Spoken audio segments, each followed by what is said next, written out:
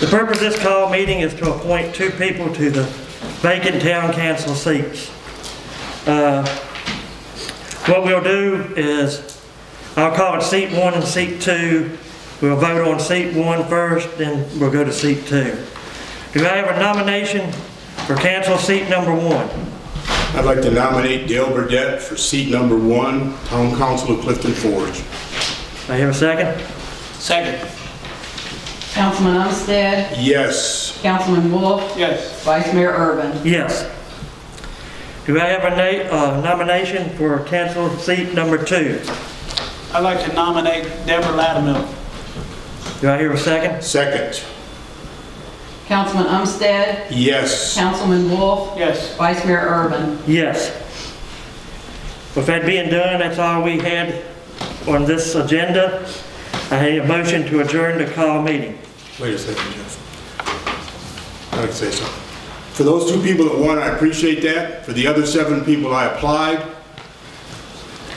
After interviewing all seven of them, the seven of them, the choice was absolutely unbearably hard to pick. Amen. seven of the most, the hardest, difficult people that I've had to deal with, that we could have picked any one of the se- others, the seven to take these two seats.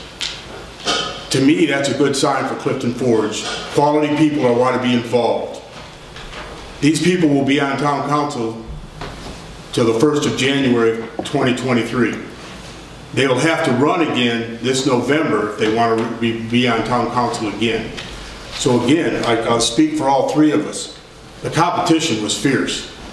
I didn't think it would even be close to what it was. So thank you for everybody that applied. Thank Joe, do you. Yeah, I'd like to thank everyone applied, and I hope every one of you that applied runs in November, and let the people decide.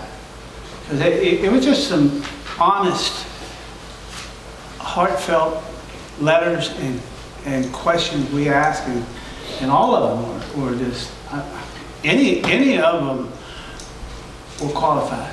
Any of them qualified. You know, What kind of qualifications? Rick, we've taken no questions.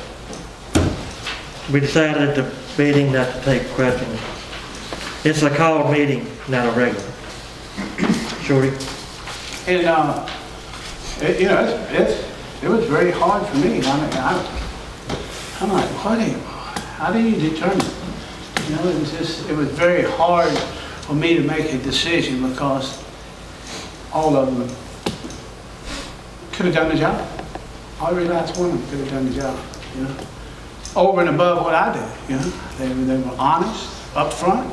Every question you asked, they were honest. And Honesty is a big thing with me, it's honesty, and they were all honest. But, you know, that's all I can say, you know? Um, Thank you. I too would like to thank everybody that applied, uh, all seven, and uh, I never thought in my wildest day that it'd be seven or eight people put in for this, nine, whatever it was. Um, I've been on council for about eight, uh, 11, 10, 11 years, 12, whatever it is now. This is one of the hardest decisions I've had to make. It's in the top five. It's a hard decision. Everybody's well qualified. Uh, don't let, because you didn't get it, discourage you. Make sure, Bob said, run in November and let the people decide. That's all I have, thank everyone for running. I hear a motion to adjourn the call meeting. I'll give you a motion. Second. Adjourn. Second. Councilman Umstead, Yes. Councilman Wolf, Yes. Vice Mayor Urban. Yes.